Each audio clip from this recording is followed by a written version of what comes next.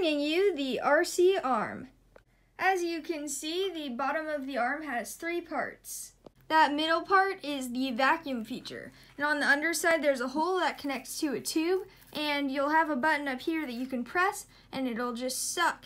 And that'll be helpful for picking up things like this coin, which aren't uh, magnetic.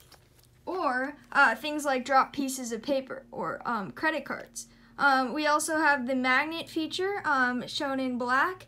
And um, that is helpful for keys. Um, that's those sorts of things. Um, and then we have the Velcro feature, which is helpful for things that you might drop a lot, like um, a wallet or, I don't know, your stuffed animal. Up and down motion is controlled by that lever right there, and uh, these would be built into the arm piece.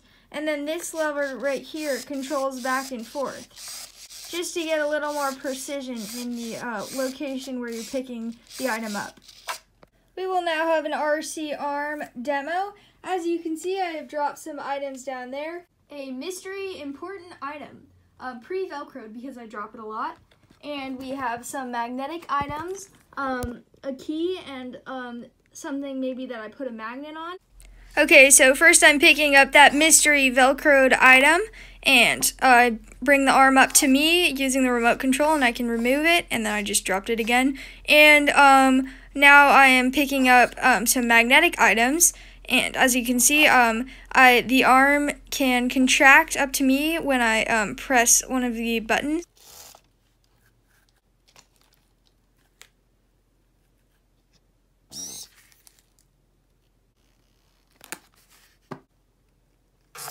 So this could be especially helpful if you're in a wheelchair or if you are older and can't bend over to pick up things. And that's the RC arm.